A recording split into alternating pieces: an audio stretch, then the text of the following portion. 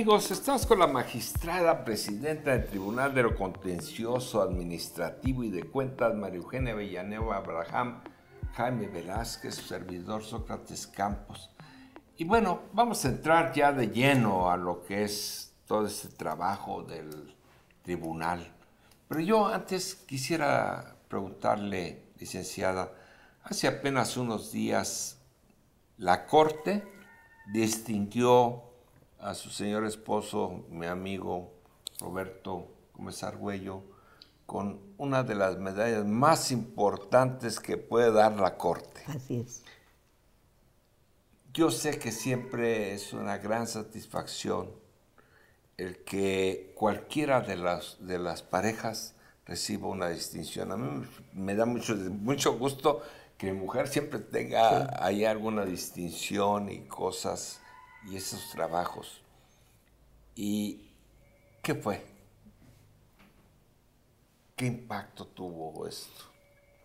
Mire, muy grande, porque yo siempre he insistido en que los reconocimientos se den en vida, porque muerto se tiene que dar en el momento adecuado y en el momento preciso. Y yo creo que no es premiación de la Corte. Hago la pertinente ah. aclaración que al estar separados jurisdiccionalmente y administrativamente está la institución, nuestra Suprema Corte de Justicia, y está el Consejo de la Judicatura. Roberto salió, como les toca a los jueces y a los magistrados y a los empleados, Consejo de la Judicatura. La Corte es un ente independiente, autónomo que no se mete para la revisión de su personal. Es el Consejo de la Judicatura. Hay una medalla, la Ignacio L. Vallarta, que es probablemente igual que la Otero, de las mismas dimensiones porque los dos fueron los creadores del juicio de amparo. Lo que tenemos ahorita como juicio fueron esas dos cabezas pensantes. Consiguientemente son los premios más agradecidos. Si usted nota, en el periódico salió que la medalla era por 50 años de ejercicio profesional intachable, transparente, con equidad, con justicia, con humanismo, con sensibilidad, con humildad, por las ganas de hacer el bien a México como impartidor de justicia. Pero desde el 2015 ya no la dieron. En el 2015 la dejaron vacante y la 16 y la 17, porque consideraron que Roberto tenía 48 años de edad, 48 años de ejercicio profesional y querían dárselo a los 50. Roberto por cuestión de tiempo se tiene que ir ya a los 75 años. Entonces le hacen un reconocimiento que se presume que es para un magistrado colegiado, uno de unitario y un juez de distrito. Y en el acta a la cual aterriza el Pleno del Consejo, dice que por única ocasión no se le va a entregar ni al juez ni al magistrado unitario y queda desierto el premio para ellos, para dárselo a uno solo a nivel nacional, mi señor esposo.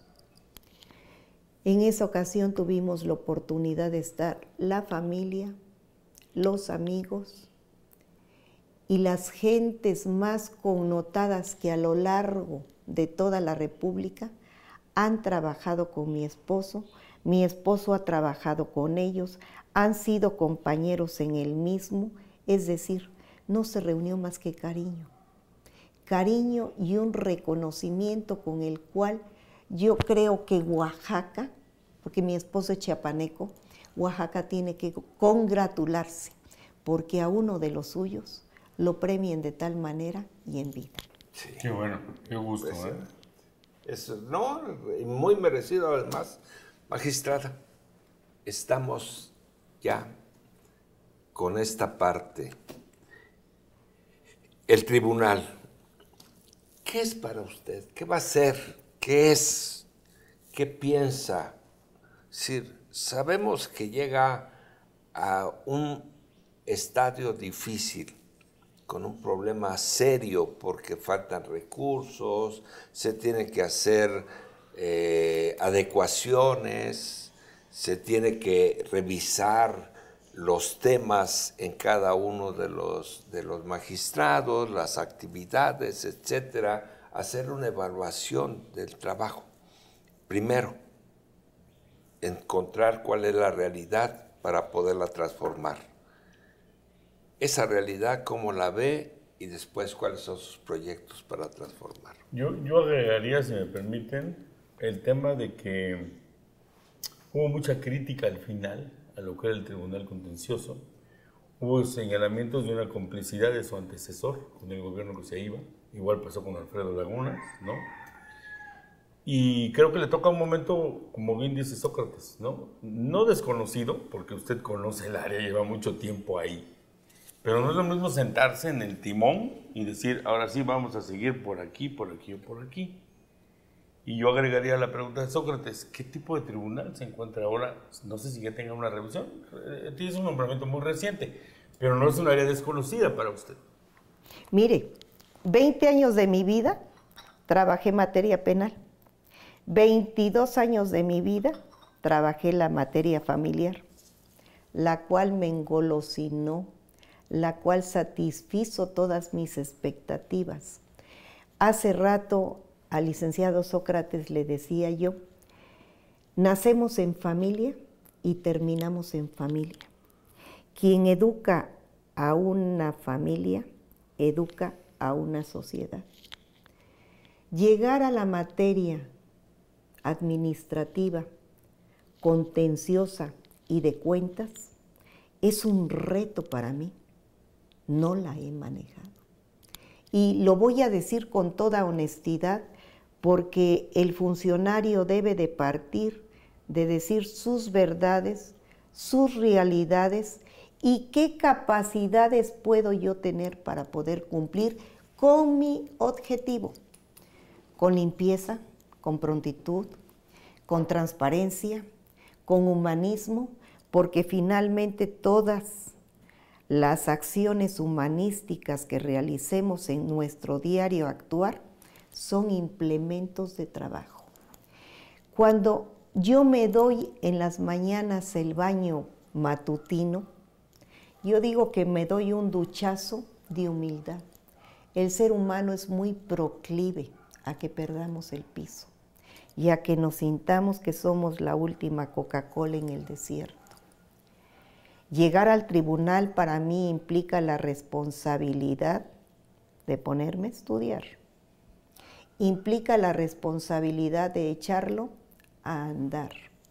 Implica la responsabilidad de que mis compañeros magistrados del Tribunal Superior de Justicia, reunidos en pleno, tuvieran un voto de confianza para que yo me saliera con un permiso especial para poder integrarme al administrativo y contencioso a mis magistrados, compañeros de tribunal, mi eterno agradecimiento por confiar y creer en mí.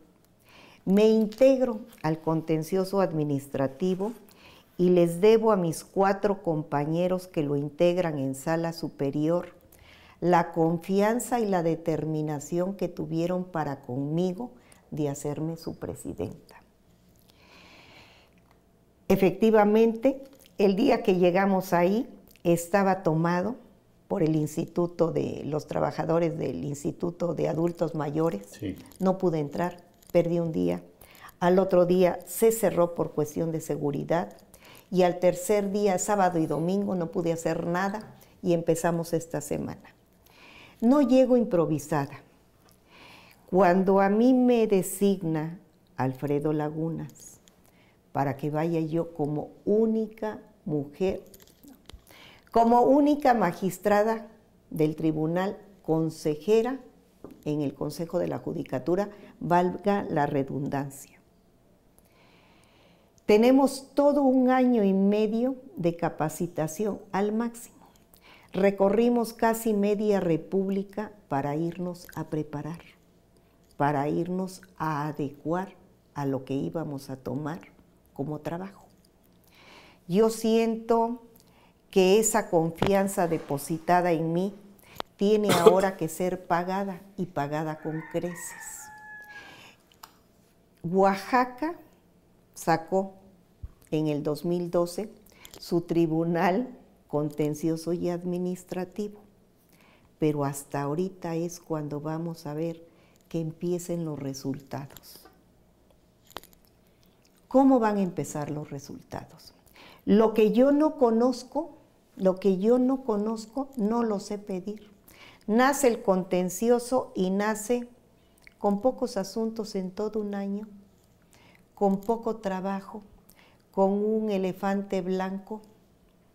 Entró con una mujer, una mujer que hizo lo que más pudo, en una mujer que finalmente Xochitl lo echó a andar, en un momento en el que Oaxaca ya requería de ello, porque ese tribunal se va a hacer cargo no solamente de todos los trámites administrativos que como queja tengan los particulares con el gobierno, sino también con los municipios y las autoridades administrativas. Y sus resolutivos que tengan hacia la ciudadanía, ¿no? es, Así es. Es el tribunal para ir a arreglar mi asunto con el municipio. Así es. Es que nos va a hacer justicia a los ciudadanos. Eso.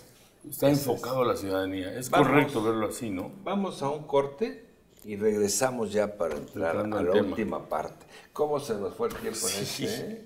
Rapidito.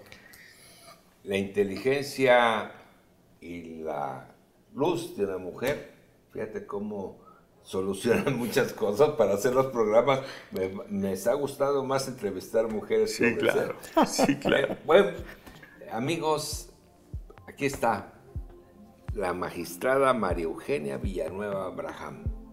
Regresamos.